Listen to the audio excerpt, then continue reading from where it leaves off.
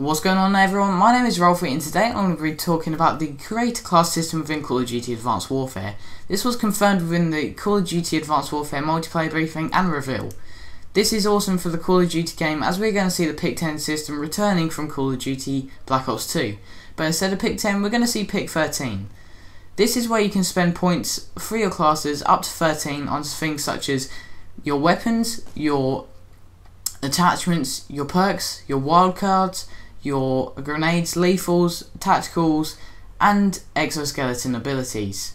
After you've created your create a class, you can then go into the firing range, whether it be within a mid-game lobby or just within the uh, the menu itself. This is going to be awesome for the Call of Duty franchise as we all love the Black Ops 2 create a class system. We're going to see it returning within Call of Duty Advanced Warfare. If you have missed any of my videos today, make sure to go back to, on my channel to see them all. I'm going to be covering more Call of Duty Advanced Warfare stuff on my channel today. Thanks guys for watching, hopefully you have enjoyed. If you have, make sure to hit the like button down below. I'll see you guys in my next video.